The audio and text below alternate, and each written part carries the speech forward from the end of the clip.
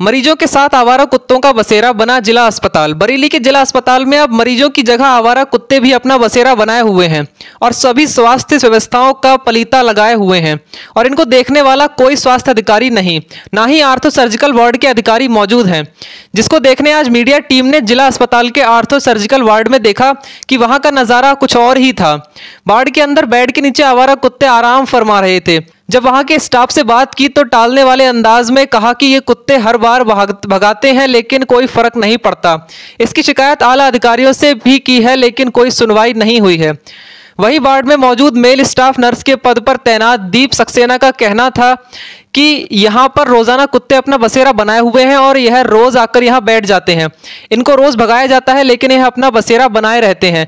दीप सक्सेना के मुताबिक कोई आला, कई आला अधिकारियों से शिकायत की गई है, लेकिन इसका अभी तक कोई निवारण नहीं किया गया है और इंचार्ज के द्वारा भी शिकायत की गई, लेकिन कोई कार्यवाही नहीं हुई।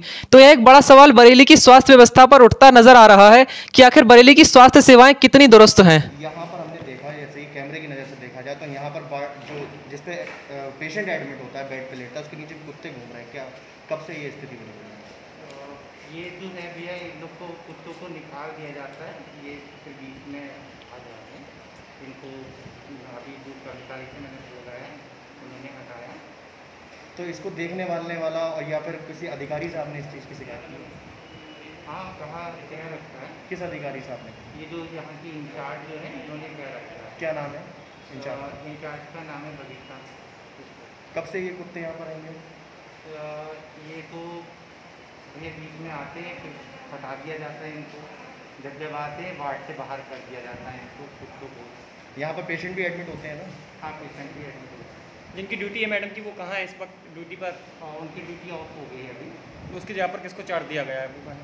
अभी तो नहीं है अभी जो एजेंसी वाले हैं उनको चार्ज दिया गया है।